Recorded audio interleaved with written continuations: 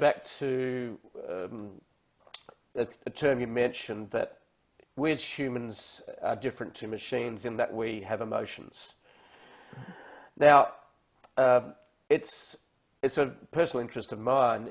Is I'm, I'm very positive about the future, uh, but in the meantime, some of the implications of what's happening with social media and digital technologies, and you know, people will walk down the street, they will not look at nature. They've got their earphones on. Uh, they actually are looking at their phone. Uh, they're actually a danger to everyone else walking on the same path. Uh, people have been killed just walking up the street because they've got their head buried in their phone, which is very sad. But that, the reality is, so there's a negative aspect to digital tech, which is your last phase. I'd be interested in your thoughts on what do you think are the emotional and mental health issues uh, that are rising out of this? Because we're seeing in uh, the Western world the rise of a lot more mental health issues. Anxiety is rife, um, suicide is rising, uh, and it's a personal um, uh, interest of mine based upon what's happened to me, and not personally for myself, but uh, my partner. Um, it was uh, so because she passed away from suicide, and two years ago. And for me, it's a personal interest. And for me, it's basically how can we use, what can we do as society in this digital age to actually make sure that we both got the technology to actually help people that are struggling. Um, and they're entrepreneurs because being an entrepreneur is a tough gig. Um, you know, it's a lot of pain. Um, what do you see as some implications of the digital age on mental health. I'm sure you'd have some interesting insights around that, and um, so I'd be interested in your thoughts. Yeah, and first of all, I'm I'm sorry to hear of your loss there, my friend. Um, I um. I don't see it so much as digital, but more as cyber. It's it's more the the cyber culture that creates the the issues. Um, certainly, the um, uh, the narcissism that can rise, I think, has has some some impact. Social media. I, one of the best things that I do for my mental health, Jeff, is once or twice a year I just I go on a fast. I just leave Facebook.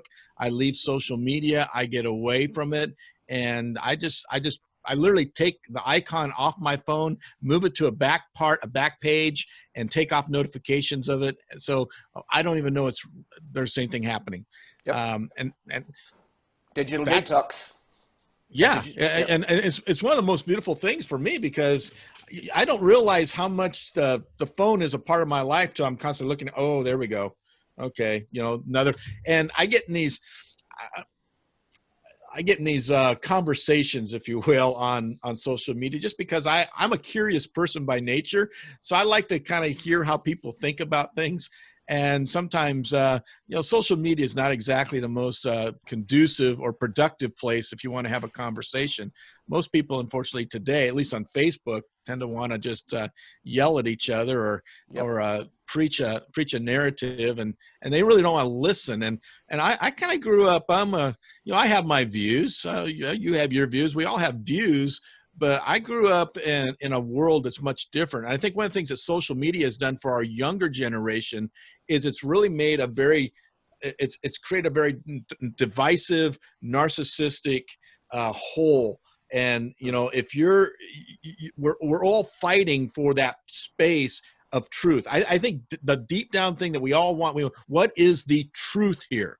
That's what we're looking for. And social media is such a cesspool of of narratives mm. and false narratives often that we it's hard to def- tell what is true. We see pictures that look oh wow that looks real. That video looks real. And then you find out it's completely concocted. Uh, it's it's so it does have a lot of of, of social implications. It has a lot of, of mental health uh, implications. Mm. And for those who um, who struggle uh, with self esteem, uh, with um, with with some of their their own awareness of who they are it, it, can it can really start to to bite in a big way and and, and hurt and um, i feel for those people you know yeah yeah okay it's it's i think part of the challenge we have as human beings is this evolution and actually a revolution has been so quick that we as humans are struggling to adapt to it Yes. So, how do we use social media properly? How do we use our phones properly? How do we use communi- global communication properly? That is healthy. Um, and, and you know what? I actually turn off. I don't have any notifications from my social media on my phone. They are all off. Hmm. Um, and I very rarely go and check my Facebook uh, news you know, feed. Um, there's a great quote I came upon with a friend of mine. She shared it with me about a year ago. And I think it's something we've got to be really aware of, especially when we go and check our Facebook feed and Instagram feed, is that we as human beings judge the inside of ourselves by the outside of others. Hmm. Hmm.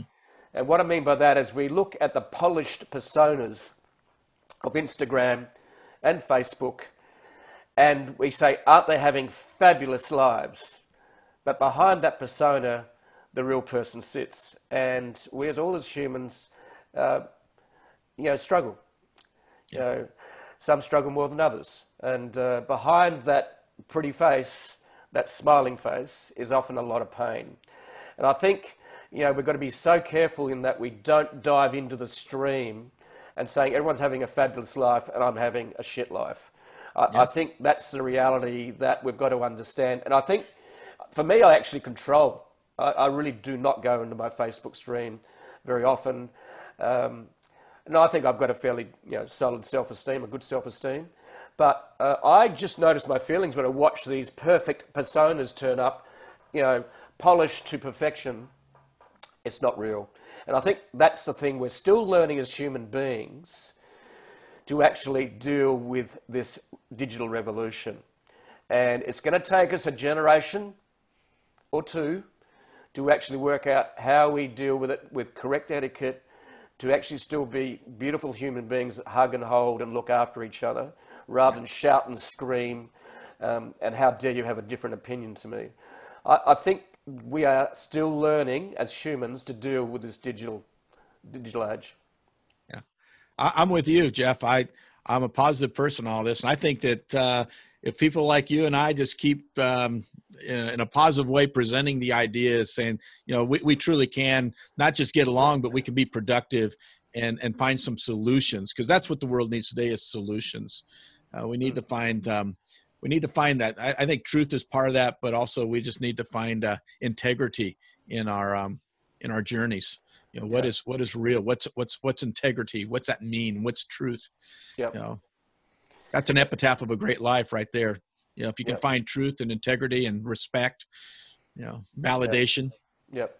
and what i want to share here is uh, real stories. And uh, we've we've heard some from you today and basically your passion and it's great to hear that